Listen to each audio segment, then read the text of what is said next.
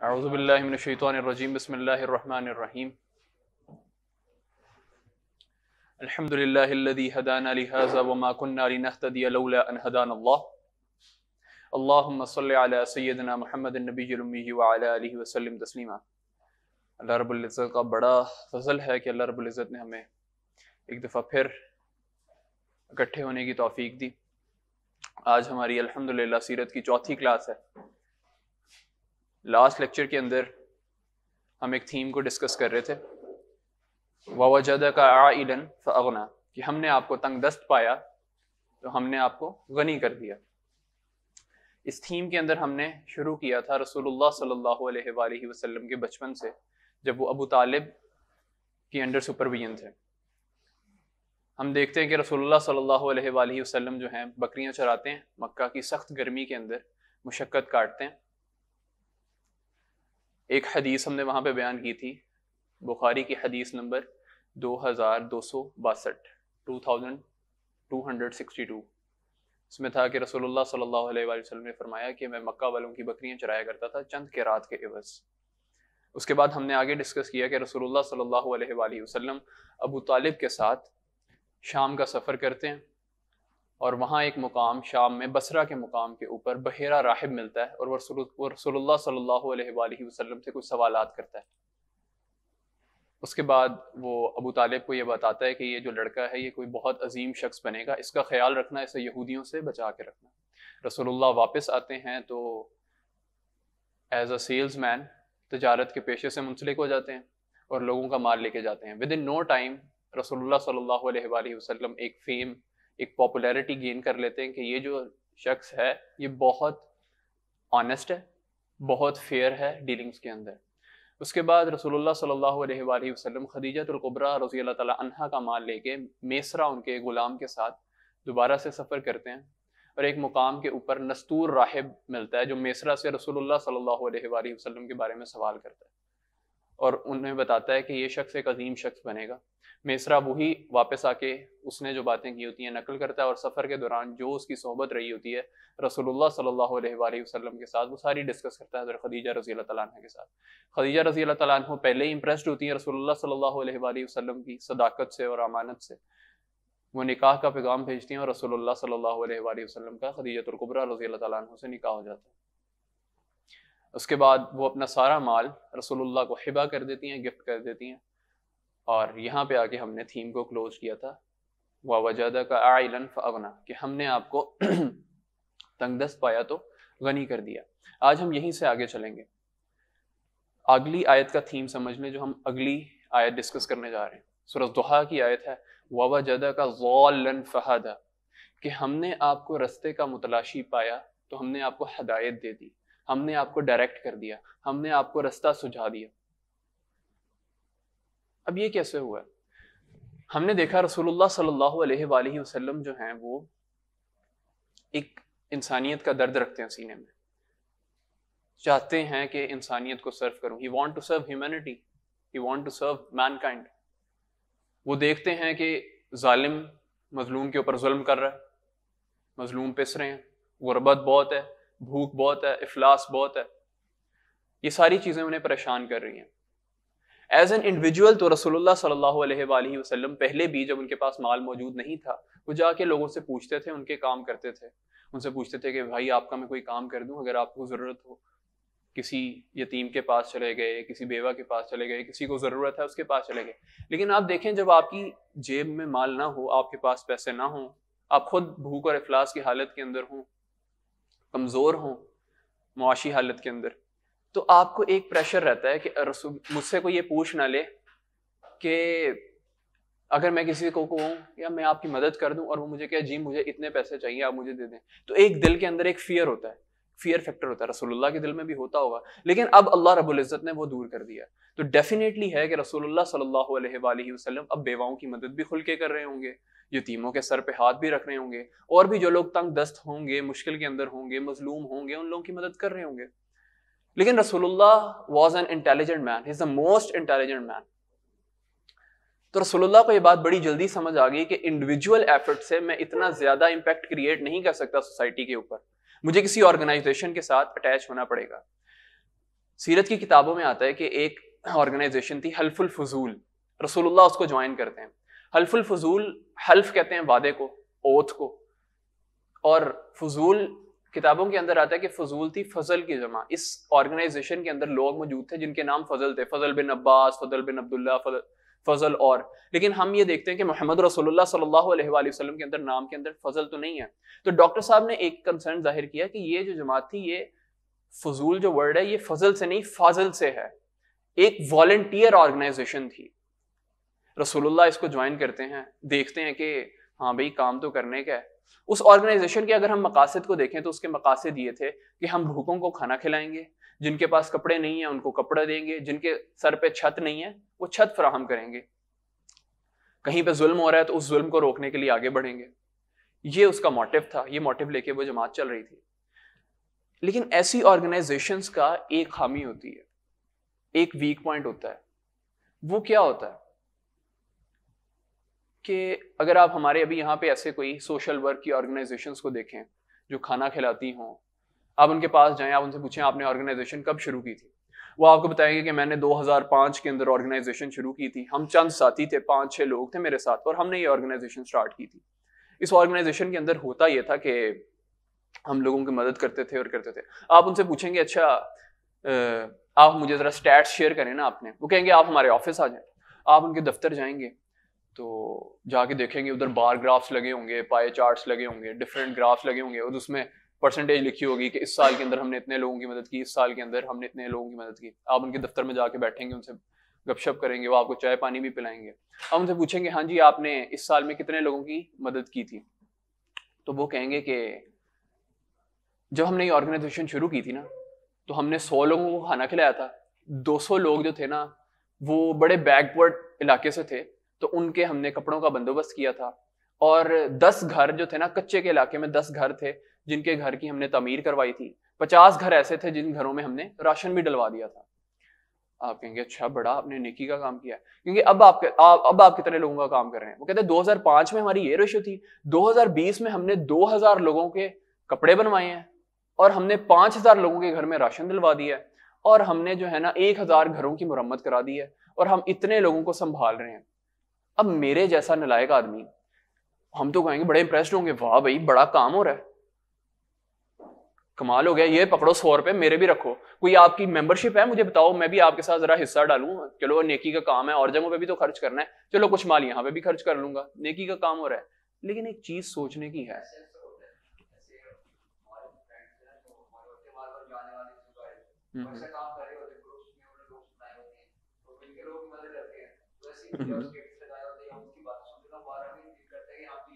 इनकी मदद करें। बिल्कुल, एक नेचुरल फीलिंग है। ठीक है? बड़ा अच्छा इन्होंने कंट्रीब्यूट कर दिया। कंट्रीब्यूट करते रहा करें फिर मुझे ऐसा लगता है मैं बंदों से ही बात कर रहा हूँ। ठीक है? तो अच्छा खैर। हम्म अच्छी बात है। Listening is a fine art listening बड़ी इंपॉर्टेंट है। खैर, आगे चलते हैं। तो अब हमारे जैसा आदमी होगा तो वो फ़ौरन यही ख्याल आएगा कि यार, मैं भी इस ऑर्गेनाइजेशन का हिस्सा बनता हूँ। लेकिन एक चीज़ नोटिस करने की है। मैंने शुरू में बात की कि इनका एक वीक पॉइंट होता है। इनकी एक नाकामी होती है। वो नाकामी क्या है? रसूलुल्लाह सल्लल्लाहु अलैहि वसल्लम ने वो नोटिस की। क्या नोटिस किया? कि अभी हमने ज़िक्र किया कि 2005 के अंदर जिस ऑर्गेनाइजेशन के पास हम गए थे, वो सौ लोगों को खाना खिला रही थी।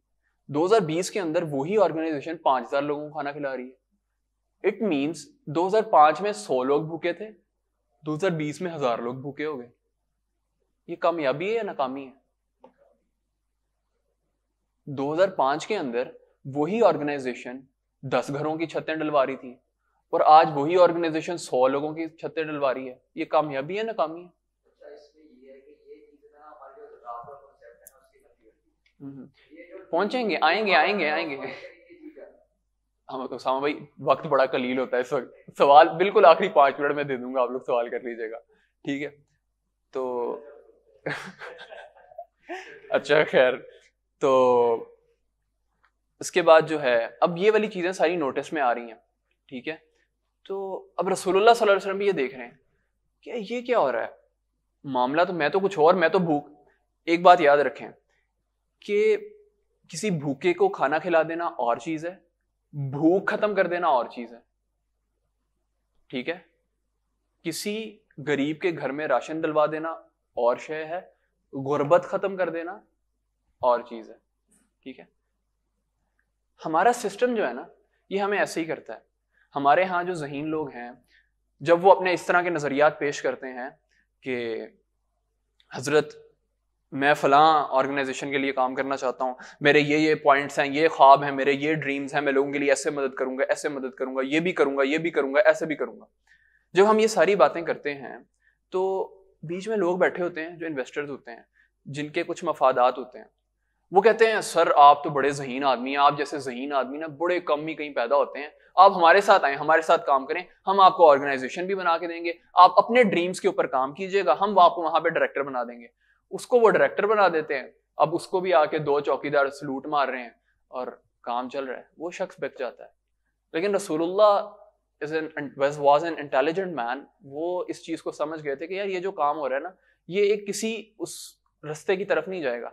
अब रसूलुल्लाह सल्लल्लाहु अलैहि वसल्लम जाते हैं गारे हिरा की तरफ़। क्या अभी आयत हमने पढ़ी थी कि मुतलाशी पाया? अभी तलाश है। तलाश कर रहे हैं रसूल रास्ता कौन सा है? इंडिविजुअल एफर्ट करके देख ली कि ये भी कर लिया, यतीमों की मदद भी कर दी, गरीबों के हाथ भी बटा रहा हूँ, बेवाओं की मदद भी कर रहा हूँ, और काम भी कर रहा हूँ। अब मैंने ऑर्गेनाइजेशन के साथ काम करके भी देख लिया, लेकिन हो क्या रहा है मेरे साथ? ठीक है? रिजल्ट्स मुझे वो नज़र नहीं आ रहे जो मैं चाह रहा हूँ। मजलूम की मजलूमियत खत्म नहीं हो रही है। जुल्म बढ़ता जा रहा है। जो गरीब है उसकी गुर्बत खत्म नहीं हो रही है। मतलब गरीब बढ़ते जा रहे हैं। ये क्या मामला हो रहा है? अमीर अमीर से अमीरतर हो रहा है और गरीब गरीब से गरीबतर होता जा रहा है। मामला क्या है? अब रसूलुल्लाह सल्लल्लाहु अलैहि वसल्लम जाते हैं गारे हिरा में। आमतौर पे देखें ना कि ऐसे तन्हाई में कौन लोग जाते हैं? या उनको घर में कोई बुलाता नहीं होगा, घर में उनकी कोई सुनता नहीं है तो वो फिर मसाजिद का रुख करते हैं। अल्लाह से मांगते हैं, अल्लाह से लो लगाते हैं। लेकिन आप रसूलुल्लाह की ज़िंदगी देखें कि लविश घर है, अल्लाह ताला ने गनी किया है तो खदीजा रज़ी अल्लाह ताला अनहो एक ताहिरा है और मालदार खातून है। फिर उन्होंने अपना सारा माल हिबा कर दिया। तो माली तंगी तो रसूलुल्लाह को है ही नहीं। दूसरा, घर के अंदर भी कोई परेशानी नहीं है। बीवी इतनी मोहब्बत करती है, इतनी फ़र्ज़ शनास बीवी है।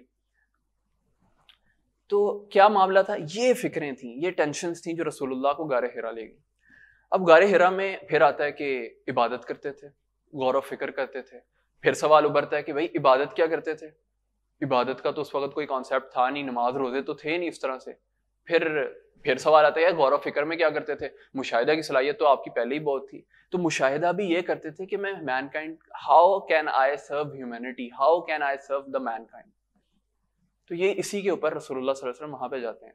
अब रसूलुल्लाह सल्लल्लाहु अलैहि वसल्लम वहाँ जा रहे हैं, वक्त गुजार रहे हैं, उधर सोच रहे हैं कि मैं कैसे करूँ, क्या करूँ, क्या ऐसा हो जाए कि चीज़ें बदलने लग जाएँ, कुछ नज़र आने लग जाए, कोई रास्ता मिल जाए। अल्लाह से भी कह रहे हैं कि, अल्लाह, मैंने ये भी करके देख लिया मैंने ये मामला भी तय कर लिया, ये भी करके देख लिया, इस रास्ते को भी देख लिया, इस रास्ते पे भी मैं चला गया, इन लोगों के साथ भी मैंने काम करके देख लिया, इनके साथ भी कर लिया। लेकिन जो मैं सोच रहा हूँ वैसा हो नहीं रहा है। जैसा मैं सोच रहा हूँ वैसा नहीं हो रहा है। तो अब मैं क्या करूँ? अब वहाँ पे रसूलुल्लाह सल्लल्लाहु अलैहि वसल्लम को तीन आइडियोलॉजीज दी जाती हैं। एक आइडियोलॉजी नंबर वन जिस अल्लाह को तुम खालिक मानते हो, उस अल्लाह को मालिक भी मानो। आप लोग रब हमारा में पढ़ चुके हैं। आयत डॉक्टर साहब पढ़ते होते हैं, वाला इनसे अल्तामन खलक समावाती वल अर्दिला अल्लाह। कि इनसे पूछो, इनसे सवाल करो कि तुम्हारा खालिक कौन है? तो कहेंगे अल्लाह है। लेकिन रब मानने से इनकारी है, मालिक मानने से इनकारी है। तो पहला पॉइंट आ गया कि मालिक मानना है। दूसरा पॉइंट इनको जाके बताओ कि मैं अल्लाह का रसूल हूँ, मैं रसूलुल्लाह हूँ। तीसरा पॉइंट कि मैं ये जो कलाम लेके आया हूँ, ये अल्लाह का कलाम है। तुम सबने एक दिन मर जाना है और फिर उस रब के हजूर उठाया जाना है। ये तीन पॉइंट थे। अब आप किसी भी सिस्टम के अंदर है ना, हम रिसर्चेस करते हैं ना, अपने बीएस के अंदर तो या एम के अंदर भी रिसर्चेस करते हैं तो उसके अंदर ये होता है कि हम रिसर्च करते हैं, लेकिन हम मेंशन करते हैं कि टेम्परेचर इज़ कांस्टेंट या नॉइस नहीं होनी चाहिए पॉल्यूशन नहीं होनी चाहिए कोई एक्सट्रेनियस वेरिएबल्स नहीं होने चाहिए। अगर एक्सट्रेनियस वेरिएबल्स आ रहे हैं तो हमारे रिजल्ट्स के ऊपर अफेक्ट आएगा। तो अगर तो ये सारी चीज़ें कॉन्स्टेंट है, तब हमारे रिजल्ट्स ये आएँगे। ऐसे ही होता है ना अंदला भाई। ठीक है? अब यहाँ पे भी ये है। सिस्टम कह रहा है कि सिस्टम रिमेन्स द सेम ठीक है? आप जो मर्ज़ी करते रहो। सिस्टम वही रहेगा। ठीक है? आप आओगे, आप कहोगे, मैं लोगों की मदद करना चाहता हूँ। हम आपको इन्वेस्ट इन्वेस्टमेंट भी देंगे कि, यार, ये लो। ये पैसे लो, जाओ, मदद करो। गरीबों को खाना खिलाना ये लो, जाओ, मदद करो। बेवाओं की खिदमत करनी है, ये लो, जाओ, मदद करो। लेकिन अगर आप सिस्टम को चेंज करने की बात करोगे ना तब ये अपोज करेगा। सूर्य असर में क्या पढ़ा था? जब आप हक की तलकीन करोगे, सब्र भी करना पड़ेगा, ठीक है? तो खैर साथ साथ कनेक्ट भी करते रहेंगे। अब रसूलुल्लाह सल्लल्लाहु अलैहि वसल्लम जब ये तीन पॉइंट्स लेके आ रहे हैं, अब ये जो रसूलुल्लाह को आइडिया क्या दिया जा रहा है? रसूलुल्लाह को ये आइडियोलॉजी दी जा रही है कि ये तीन पॉइंट्स हैं। अल्लाह को मालिक मानो, खालिक मानते हो, मालिक भी मानो। मुझे रसूल मानो, मोहम्मद रसूलुल्लाह को रसूल मानो, सल्लल्लाहु अलैहि वसल्लम, और आखरत के ऊपर ईमान लेके आओ कि एक दिन तुम सबने मरना है, हम सबने मरना है, और अल्लाह के सामने पेश होना है। वो कहते ठीक है, तुम बड़े नेक आदमी हो। बिल्कुल ठीक है। लेकिन ये जो कह रहे हो ना कि मुझे रसूल मानो, ठीक है, तुम सादिक हो, तुम अमीन हो, हम मानते हैं, लेकिन रसूल ये ये बात नहीं है नहीं हम मान रहे। ठीक है? हमने पीछे पढ़ा कि रसूलुल्लाह वसल्लम को पेशकश की गई। मैंने अभी डिस्कशन की कि जब कोई जहीन आदमी आता है और वो अपने नजरियात रखता है तो ये क्या करते हैं? ये क्या करते हैं कि आए ओहो, आप तो बड़े जहीन हैं, आप जैसे पैदा ही कोई नहीं होते। आए जरा हम आपको आपसे काम लेते हैं, आके जरा काम लेते हैं। काम करें, हमारे साथ मिलकर काम करें, ठीक है? तो ये हो रहा है। अब रसूलुल्लाह को भी दावत दी गई थी कि बादशाह चाहते हो या बादशाह बना देते हैं? अगर तुम अच्छी औरत चाहते हो, अच्छी औरत दिला देते हैं। माल चाहते हो, माल दे देते हैं। पर ये जो कर रहे हो ना, ये छोड़ दो। ये नहीं करना। खैर, रसूलुल्लाह इसके ऊपर डटे हुए अब रसूलुल्लाह को ये मिशन दिया गया कि एक जमात तैयार करो जो इन तीन पॉइंट्स के ऊपर तुम्हारे साथ मुतफिक हो। फिर उनकी तरबियत करो। फिर उनको इस निज़ाम के खिलाफ लेके आओ। इस निज़ाम से टकरा दो। सुहाबा का ईमान बिल्ट हुआ। तीन सौ तेरह हज़ार के मुकाबले में खड़े हो गए। अब आते हैं उसामा भाई की बात की तरफ़। उसामा भाई ने कहा कि ये वाले जो ख्यालात हैं, जो डिस्कशन हमने की है, ये जक़ात को काउंटर करती है। लेकिन आप देखें कि जब ये निज़ाम राइज होता है, रसूलुल्लाह ये निज़ाम लेके आते हैं और ये पीक पकड़ता है हज़रत उमर के दौर के अंदर। हज़रत उमर के दौर के अंदर एक टाइम ऐसा आता है रज़ी अल्लाह हो उनके दौर के अंदर एक टाइम ऐसा आता है कि जब जक़ात देने वाले निकल रहे हैं, जक़ात लेने वाली नहीं है, उनको समझ नहीं आ रही दें किसे? ऐसा वक्त भी देखा। हज़रत उमर की जो रही है उनका खिलाफत रही है वो एक्सेप्शनल है। बंदा सोचता है कि यार अल्लाह अकबर कबीरा कैसा निज़ाम होगा? फिर वो कैसा हुक्मरान होगा? क्या कह रहा है कि दजला और फुरात के किनारे कोई कुत्ता भी प्यासा मर गया तो उमर से हिसाब होना है? कि उमर अगर तुम अहल नहीं थे तो, तो क्यों बैठे हुए थे? किसी और को जगह क्यों नहीं दी जो अहल था? अगर उमर के दौर में जब ये जा रहे हैं बैतुल मुकद्दस तो सफ़र कर रहे हैं तो तय ये होता है कि एक सवारी है, आधा थोड़ा, कुछ रास्ता गुलाम बैठेगा, कुछ रास्ता हजर उमर बैठेंगे रज़ी अल्लाह अब सफ़र करते हैं, जब बिल्कुल घुसने लगे हैं बैतुल मुकद्दस के पास आ गए हैं तो बारी आ गया गुलाम की। गुलाम ने कहा, अमीर बैठे रहे आप बैठे रहे इन्होंने कहा, नहीं नहीं नहीं नहीं नहीं, बारी तुम्हारी है, तुम ही बैठोगे। अल्लाह अकबर, ये निज़ाम देखा है। आज हम ये निज़ाम देखते हैं? नहीं देखते। अब एक और बात को जहन नशी कीजिए कि जुल्म का खात्मा किसी जालिम को मार देने से नहीं होता। अब मैं यहाँ पे कहूँ कि यार वो फलां बड़े करप्ट हैं, वो फलां बड़े गलत हैं, जो है ना, वो बड़े गलत मामला कर रहे हैं। चलो आज मैं ही जैकेट पहनता हूँ, जाता हूँ जरा उधर, उड़ा देता हूँ, सारे जालिम एक ही दफ़ा गए। निज़ाम चेंज करना पड़ेगा। लेकिन अगर इस तरह जालिम गए तो फिर दस जालिम और भी पैदा हो जाए, पैदा हो जाएँगे। तो जालिम को मार देने से जुल्म ख़त्म नहीं होता है। सिस्टम को चेंज करने से जुल्म को ख़त्म किया जा सकता है। चीज़ों को एक लाइन के ऊपर, एक ट्रैक के ऊपर लेके आया जा सकता है। तो यहाँ तक हम आज की डिस्कशन को रखते हैं। अब उसामा भाई बताएँ, आपका कोई सवाल है?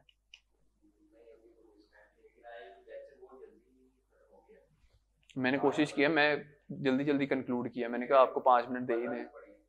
आठ दस पे हाँ ठीक है। हम इसको आगे ले जाते हैं। हम्म हम्म।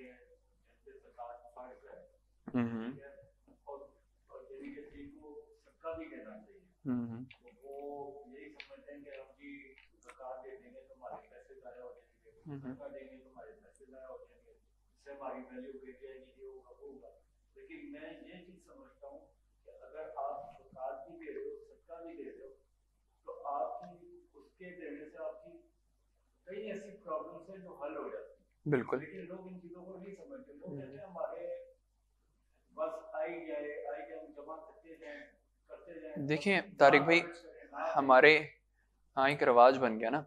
हम लोग एक उसको एक फॉलो कर रहे हैं, एक पैटर्न को, एक स्पेसिफिक पैटर्न को फॉलो करना शुरू हो गए। और आपका इन्वायरमेंट आपके ऊपर बड़ा असरअंदाज हो रहा होता है। हमने अभी पढ़ा कि रसूलुल्लाह सल्लल्लाहु अलैहि वसल्लम वहाँ से क्यों जा रहे हैं? घर में बैठ जाए, तनहाई इख्तियार कर गार हिरा क्यों जा रहे हैं? उस माहौल से तंग हो रहे हैं। उस माहौल के अंदर अब रह नहीं पा रहे हैं। वो माहौल इतना रेजिस्ट कर रहा है कि समझ नहीं आ रहा कि यार इस माहौल के अंदर रहते हुए मैं काम कैसे करूँ? मैं वो सही रास्ता जो है, उस रास्ते को कैसे पहचानूं? उस रास्ते पे कैसे जाऊँ? फुरकान?